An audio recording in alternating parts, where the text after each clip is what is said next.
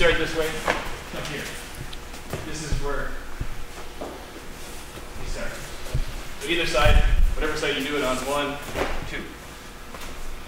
Then this foot, so you come in, this foot's gonna hook here.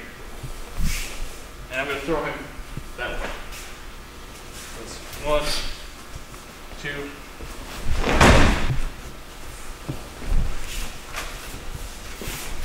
Go to the other side. Outside foot. One, two.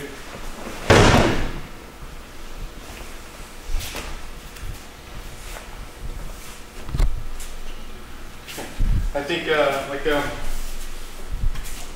how you can uh, kind of trick into that throw is that sometimes you can try to do like Uchimata and position yourself a little closer and then from here you just follow.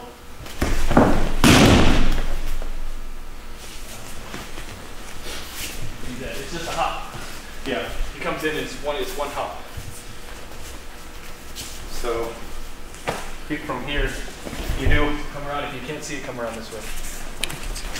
I just step with the uh, like this. I can try like here. He makes one hop Yeah.